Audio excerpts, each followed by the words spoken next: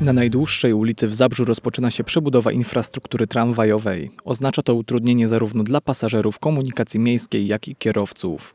Jestem rozczarowany, że nie ma żadnej informacji ani znaku. Mógłby być przy światłach, że jest droga zamknięta, jakiś objazd, y, jakieś propozycje przejazdu. Kompletnie zostawiliśmy, zostaliśmy sami tutaj i mamy sami się domyślać, jak dojechać do centrum Zabrza.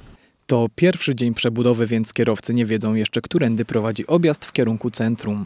Pasażerowie też muszą się przyzwyczaić do zmian, bo przez pół roku tramwaje tędy nie pojadą. Ja akurat nie jestem zabrzanką, dojeżdżam i cały czas jeździłam tym autobusem, no a przyszłam dzisiaj, znaczy tramwajem, a dzisiaj przychodzę, jestem trochę zdziwiona, się zastanawiam gdzie iść. Modernizacja obejmie około 700 metrów torów tramwajowych i będzie kosztować około 12 milionów złotych.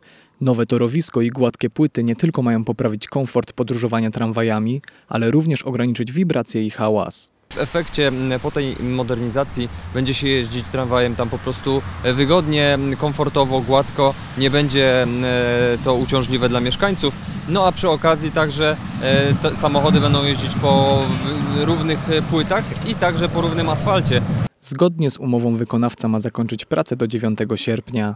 Do tego czasu przejazd tranzytowy ulicą Wolności będzie niemożliwy, a ruch będzie się tu odbywał tylko niektórymi odcinkami.